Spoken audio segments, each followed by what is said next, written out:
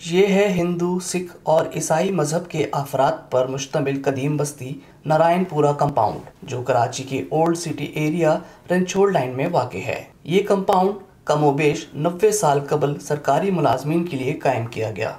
आजकल यहाँ हिंदू बरादरी में शादियों के सीज़न का आगाज़ हुआ है, जो तीन हफ़्ते जारी रहने के बाद होली से कबल खत्म हो जाएगा। तो शादियों का मुहूर्त के परमाने होता है, जिस सीज़न में जिस तरह हम लोग राशि देखते हैं। से चाँद के हिसाब से चलता ही है तो उसके हिसाब से वो चलता है। यहाँ हिंदू मज़हब के छोटे बड़े पाँच मंदिर सिखों का गुरुद्वारा और मसीही बरादरी के दो कलीसा हैं जहाँ मखसूस और मुकर्रा औकात में इबादत का अहतमाम किया जाता है।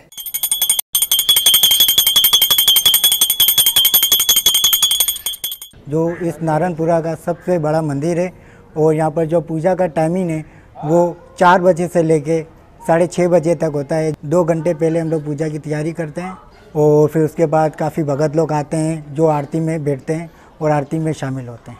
इस बस्ती में जिस तरह छोटे छोटे घर और इनकी दीवारें एक दूसरे से मिली हुई हैं इसी तरह यहाँ के मकीनों के दिल भी एक दूसरे से खुश हैं और एक साथ धड़कते हैं। जब इसका वजूद भी नहीं आया था जब केमसी ने ये बिल्डिंगें भी नहीं बनाई थी उससे पहले से हम यहाँ हमारे बाप दादा जो है ना वो यहीं से रह रहे हैं। हमारे यहाँ तीन चार कम्युनिटी रहती है। मारवाड़ी भी है, गुजराती भी है, पंजाबी, क्रिश्चियन है और काठियावाड़ी कौम है।